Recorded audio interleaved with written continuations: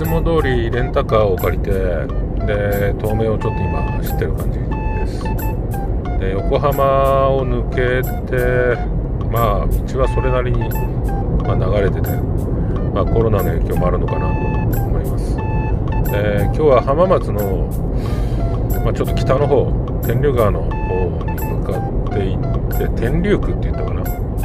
にある、ま、ジビエの店で夕方6時から予約をしてるんで、まあ、それに間に合えば別に構わないんでその前にちょっと静波海岸に久しぶりに寄ろうかなと。実はあの今から278年ぐらい前に2年ほど住んでいて、まあ、当時アメ車のチームの連中もちょっと来たりとかまあそういう意味でちょっと思い出深いというかまあ、可愛がってた後輩もいたんで、まあ、あとはその頃よく食いに行ってたハンバーガー屋さんがあって、まあ、それ以外あんまりお店がなかったっておかしいんだけど、まあ、気に入ってよく食べてたハンバーガー屋さんがあるんでまだ潰れてないとネットで調べたんでちょっと寄ってみようかなと思います。で途中までは高速、まあ、東名でブラーっと行ってであまり早く着きすぎても6時の予約なんでそれに間に合えばいいんでまあ途中で1回下に降りてまああののんびり海岸線走りながらブラブラ行こうかなと。冬の海っていうのもなかなかいいもんでね。まあ夏の方が俺は好きなんだけど冬寒いの嫌いなんで。だけどまあ冬の海をブラブラ見ながら行くのもいいかなと思います。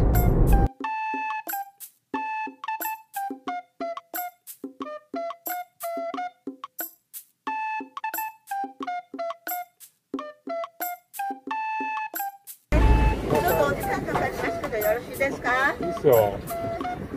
ハンバーガーと、はい、あとホットサンドのテキサス。ハンバーガーとテキサスサンドです、はい。以上で。はい。い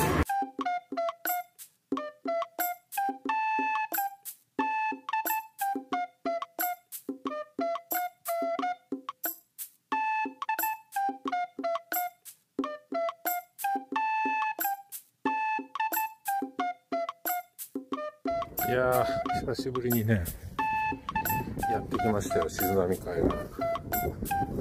昔ね、ここでね、正月、焚き火してみんなでな初日の出をここで見るという、わけのわかんない企画やってたななん。でね、あのトイレの前でね、あそこで頭洗ってね、ビダルザソンのシャンプーで、で、それがね、流せなくてね、車が臭くなったんだよね、ビダルザソンでしたね。というわけで、ポタジュでハンバーガー買ったんで、海辺で食ってみたいなと思います。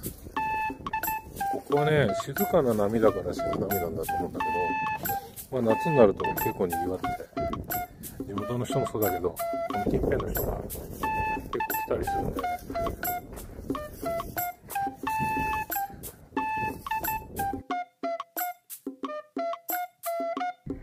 これがね、テキサスサンド。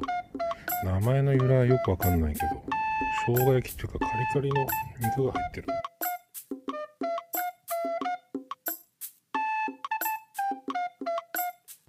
でね、ハンバーガーをポタジュっていうハンバーガーに変えました。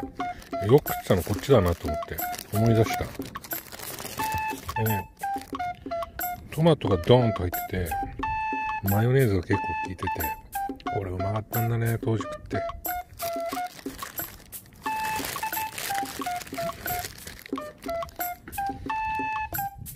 うん、うまい。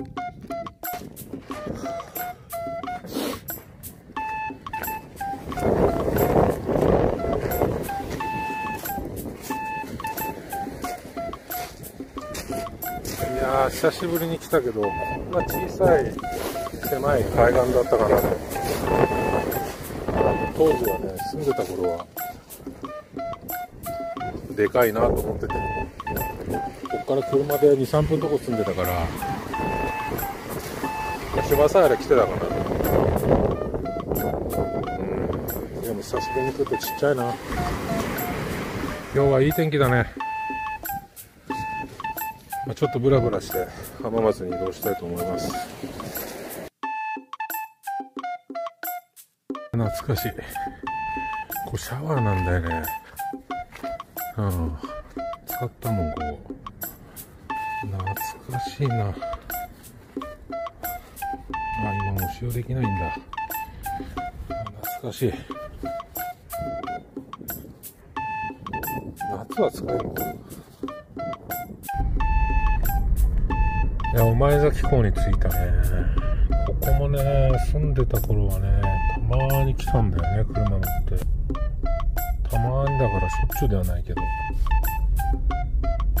ちっちゃいなやっぱり。